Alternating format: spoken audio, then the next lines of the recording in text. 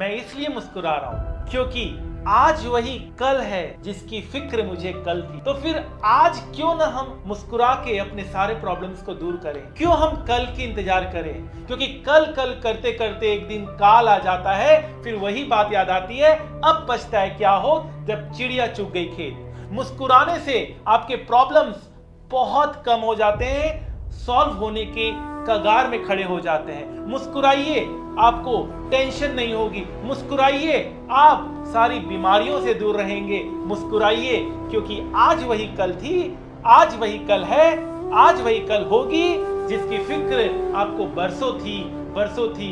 कल के लिए आज को मत खोइए, क्योंकि आज अगर आप खो देंगे तो मुस्कुराने का जो मज़ा है, वो कैसे ले पाएँगे? मुस्कुराइए, क्योंकि आपके सारे प्रॉब्लम्स आपको मुस्कुराहट से ही सॉल्व करने हैं।